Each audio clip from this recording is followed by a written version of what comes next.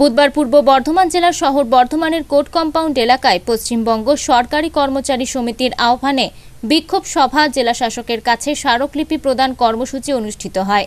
উল্লেখ্য, সারা রাজ্য জুড়ে এই সংগঠনের পক্ষ থেকে তেইশ, চব্বিশ ও পঁচিশে অগস্ট প্রতিটি জেলায় এই কর্মসূচি চলছে। বেআইনিভাবে আমাদের দেশ থেকে গরু পাচার হচ্ছে, তার মহানায়ক নাকি এখন সিবিআই কাস্টডিতে এখন এই সব যখনই নিয়োগের প্রশ্ন আসছে। এই সব চোরেরা চোরেরা তৎপর হয়ে উঠছে। তাই আমরা বলছি ডাব্লিউপিএমএ বলছে, কোঅর্ডিনেশন কমিটি বলছে যে স্বচ্ছতার সঙ্গে নিয়োগ।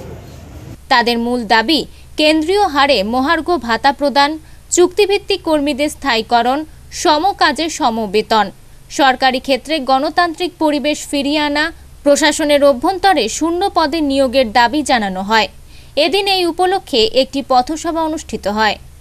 আমাদের আজকে যে পাঁচ দফা দাবি নিয়ে আজকে তেইশ, চব্বিশ, পঁচিশে আগস্ট পশ্চিমবঙ্গে যতগুলো জেলা আছে, প্রত্যেক ডিএমএর কাছে, জেলা শাসকের কাছে পাঁচ দফা দাবি নিয়ে আমরা ডেপুটেশন কর্মসূচি নিচ্ছি।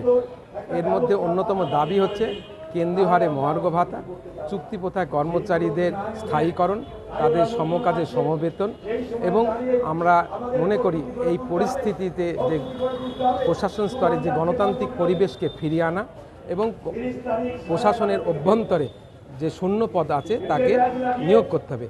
এই মূলত পাঁচ দফা দাবিকে নিয়েই আমাদের কর্মসূচি আছে। আগামী সাতই সেপ্টেম্বর আমাদের রানী রাসমণি রোডে কেন্দ্রীয় জমায়েত আছে। সেখানে বিশিষ্ট আইনজীবী বিকাশ রঞ্জন ভট্টাচার্য থাকবেন। রাজ্য কোয়ারেশন কমিটির সম্পাদক বিজয় শঙ্কর সিংহ থাকবেন। যুগ্ম সম্পাদক বিশ্বজিৎ গুপ্ত চৌধুরী থাকবেন।